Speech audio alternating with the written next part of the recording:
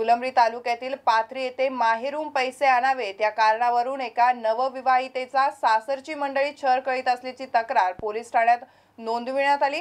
त्यामुळे आज एकीकडे महिला दिन साजरा होतोय तर दुसरीकडे महिलांचा छळ केला जातोय. फुलंब्री तालुक्यातील पाथरी येथे घर बांधण्यासाठी माहेरून दोन लाख रुपये आणावे या कारणावरून एका नवविवाहितेचा सासरची मंडळी छळ करीत असल्याची तक्रार शनिवारी वडोद बाजार पोलीस ठाण्यात नोंदविण्यात आली. यामध्ये फिर्यादी निकिता मनोज बनसोड हिचा मागच्या वर्षी पंधरा मेला पाथरी येथील मनोज बनसोड याच्यासोबत विवाह झाला होता. लग्न झाल्याच्या तीन महिन्यानंतर सासरच्या मंडळीकडून घर बांधकामासाठी माहेरून दोन लाख रुपये आणावेत म्हणून छळ सुरू झाला.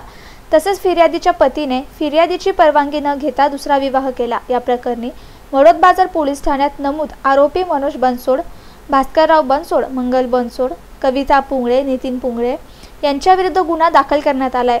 पुढील तपास सहाय्यक पोलीस निरीक्षक संतोष तांबे यांच्या मार्गदर्शनाखाली पोलीस नाईक सय्यद मुजीब हे करताय. त्यामुळे एकीकडे महिला दिन साजरा होतोय तर महिलांना सक्षम करण्यासाठी विविध योजना शासन करतंय. मात्र त्या आपल्या घरातच सुरक्षित नाही त्याचा प्रत्यय या घटनेतून येतोय. Mahavir Jaiswal M C N news Phulambri.